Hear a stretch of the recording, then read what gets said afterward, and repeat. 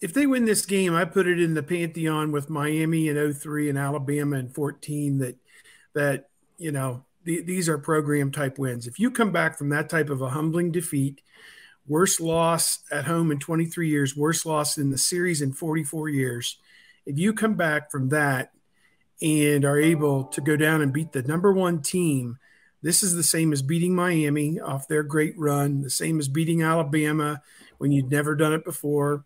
Um, that this this would be akin to all of that, and uh, then in my mind they'd be playing with house money. Um, you know, and then I don't think they'll have any problem if it's Michigan getting up to play that next game, considering the fact Michigan, you know, rubbed their nose in it and play. I mean, we're going to be hearing about flag planning for uh, 10 days. Let, let's just hope we have to listen to all the talk about flag planning for 10 days. If it comes to that, we'll all be happy. it'll, it'll be a welcome distraction. Yes.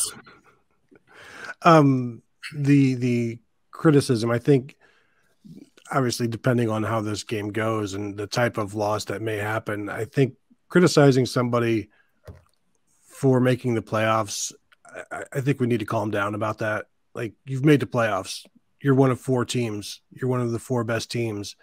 Should you be? Uh, should people be irate about that? I don't think so. Uh, so that's that's one thing. Um, also, like I, I remember the the 41-14 loss to Florida and people saying, gosh, this is gonna set Ohio State back like five years. You know, how, how do you overcome this? And Ohio State was in the championship game the next year based uh, quite a large part on opinions of people. And still, you know, like it, they were there the next year. So I think even more so nowadays, like you can have a bad loss and in the playoffs and it doesn't really matter because next year you can earn your way right back in and you can set the narrative – look how quick it it took. Uh, look how quickly Michigan Jim Harbaugh turned the narrative on Ohio State. Like it took just one game to become now now we are better than Ohio State, and then the second game absolutely proves it.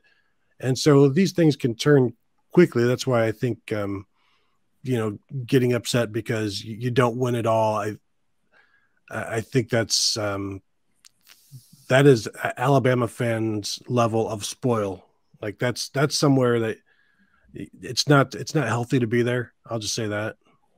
Can I can I throw in this parallel? This was kind of an interesting thing to me.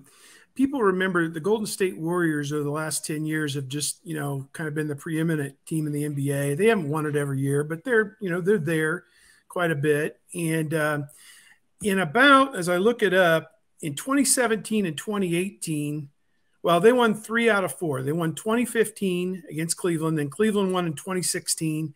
Then they beat Cleveland in 2017 and 2018. And they, I thought their 2018 team was probably about as good as any team in NBA history. They seemed unbeatable, but then they had some injuries that kind of crept in there. And you thought they were just going to walk to a third straight championship. And lo and behold, here came Toronto out of nowhere. And Toronto just the last half of that season just took it away from them and took it away from everybody and won it, you know, and they had the best player with Leonard and everything on the planet at that point.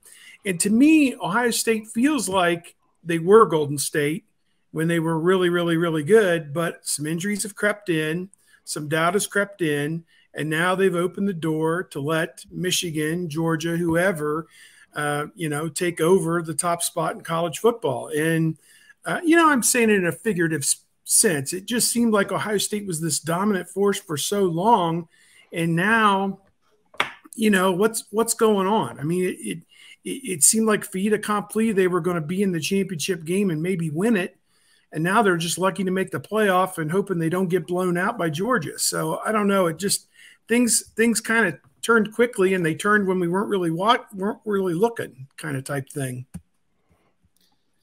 when Kevin mentions uh, people out there that say Ohio State should be playing with house money because of Georgia being the dominant team and the consensus number one and all of that, I don't know that this program, based on the expectations of the fans, has been playing with house money since Jim Tressel went to Michigan and won in 01.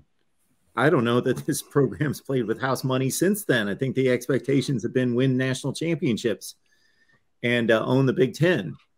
And you know, in terms of Ryan Day, uh, you know, you could kind of parallel if they if they go to Atlanta and lose by three scores, maybe parallel his uh, tenure at Ohio State, like a Lincoln Riley at Oklahoma, who uh, you know, repeatedly won the conference, lost playoff games, and um, usually in blowout fashion but I don't even know if that's a parallel because I think the expectations, and deservedly so, at Ohio State, or even you know some Oklahoma fans might get after me because that's a great all-time blue blood program. But I don't even know if the expectations at Oklahoma uh, come close to Ohio State. Well, they come close, but I don't think they're on the level just because of the recruiting and um, because of the magnitude of the Michigan game and the expectation and demand to own the conference and then beyond.